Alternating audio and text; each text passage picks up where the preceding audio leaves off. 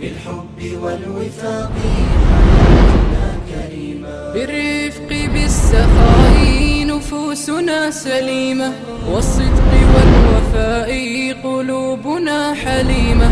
عقيمة الوجود إن اختفى صميم وزالت الحدود وجانا. بسم الله الرحمن الرحیم بیننده های عزیز السلام علیکم و رحمت الله و برکاته در جلسات قبل پیرامون احسان به پدر و مادر و اینکه چه مکلفیت های یک فرزند مسلمان در قبال پدر و مادر خود داره صحبت کردیم.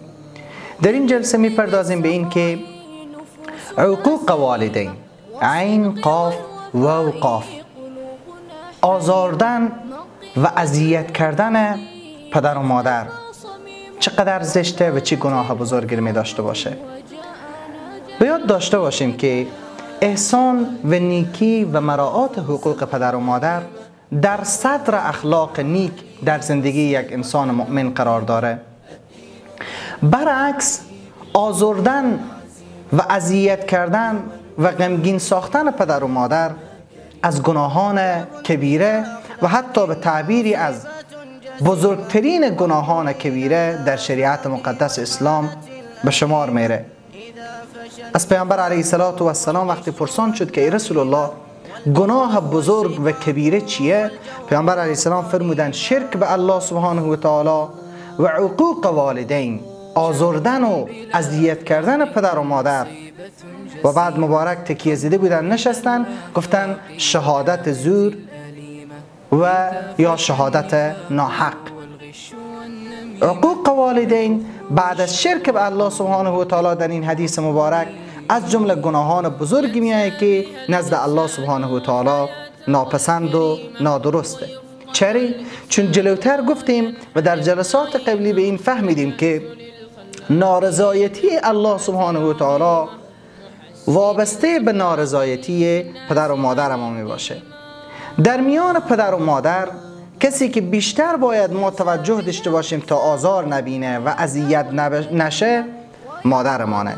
چری نسبت به محبت زیاد و زحمات زیاد و ضعفی که مادر در هنگام حمل ولادت شیردهی و تمام عمر و زندگی ما در قبال ما متحمل میشه باز در میان پدر و مادر کسی که باید بیشتر مورد توجه ما قرار بگیره و از آزار و اذیت او جدی پرهیز بکنیم مادر ما می باشه پیامبر علیه السلام میفرمایند که ورود سه نفر به بهشت حرامه.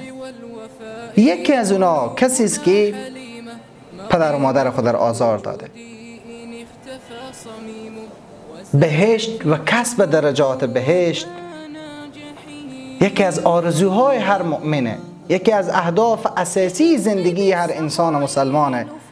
چقدر آزار دهنده که ما فردای قیامت از ورود به بهشت به خاطر آزار دادن و اذیت کردن مادر خود یا پدر خود محروم بشیم. پیامبر علیه السلام از بزرگترین گناهان بزرگ فرمودند که لعنت و نفرین و دشنام پدر و مادره. صحابه پرسان کردن که رسول الله مگر ممکنه که کسی پدر و مادر خود در دشنام بده؟ پیامبر علیه السلام فرمودن بله او کسی که پدر و مادر دیگرار دشنام میده و دیگرا پدر و مادر او دشنام میدن. گویا خودش مستقیم پدر و مادر خود دشنام داده. چه بسیار جوانایی که مادر لباس اونا رو اتو می‌کنه و فراهم می‌کنه. سر و صورت خود در خانه مادر تنظیم می‌کنن زینت می‌کنن برابر می‌کنن. بعد به مجالس اشتراک بکنن که در او به مادر اینا به پدر اینا تحقیر و توهین و دشنام صورت می‌گیره. و چه گناه بزرگی که ما سبب بشیم و وسیله قرار بگیریم تا کسای پدر و مادر ما دشنام بده. یا با اعمال بعد خود یا با دشنام دادن پدر و مادر دیگرا که اونا باز پدر و مادر ما دشنام بدن. و مورد بعدی که باید از آزار پدر و مادر بپرهیزیم اینه که دعای پدر و مادر از جمله دعاهای مستجاب و قبول شده به نزد الله جل جلاله پیامبر فرمیدن که الله متعال سه دعا مستجاب می‌کنه و رد نمی‌کنه.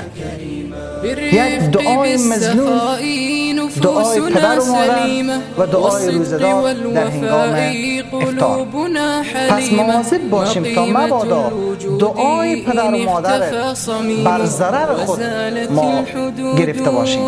یعنی نفرین پدر و مادر به دنبال ما باشه. از این موضوع جدی پرهیز بکنیم و این زمان میشه که ما اونا رو آزار بدیم.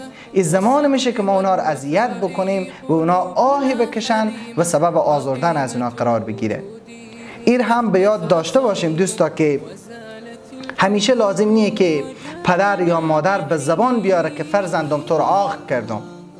بلکه همین که ما کار انجام بدیم که پدر و مادر ما آزار ببینن اذیت بشن. ولو که اونا به زبان خود آق گفتن اظهار نکنن گویا ما عمل آق را انجام دادیم و مورد این حدیث پیامبر علیه السلام که از جمله گناهان بزرگ شمردن قرار گرفتیم. پیامبر علیه و السلام فرمودند که بینیش به خاک آلوده باد. بینیش به خاک آلوده باد. بینیش به خاک آلوده باد. صحابه گفتن چه کسی ای رسول الله؟ بعد فرمودن او کسی که پدر و مادر خود در پیری در میابه و به سبب احسان و نیکی به پدر و مادر وارد بهشت نمیشه. روز دیگه پیامبر علیه السلام به منبر بالا شدند و گفتن آمین آمین آمین. بعد صحابه پیامبر علیه السلام پرسان کردند که رسول الله علت این عمل کرده متفاوت شما چی بود؟ گفتند که جبرئیل آمد و گفت هلاک باد او کسی که رمضان در میابه و سبب ورود او به بهشت نمیشه. یا در رمضان مورد بخشش قرار نمی‌گیره. ما گفتم آمین.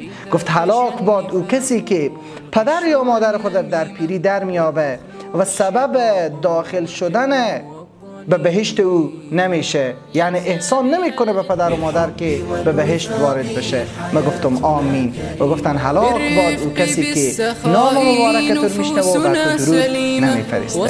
صلی الله علیه و سلم. پس دوستا نتیجه نافرمانی پدر و مادر در دنیا دیده میشه.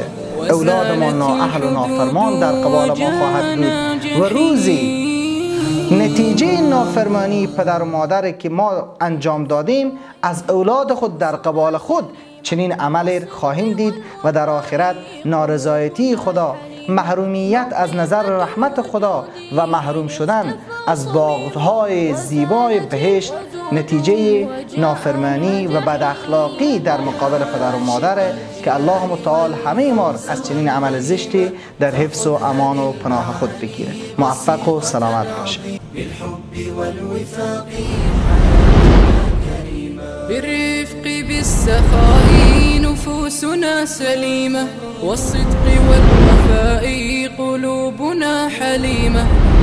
مقيمة الوجود إن اختفى صميما وزالت الحدود وجانا جحيم.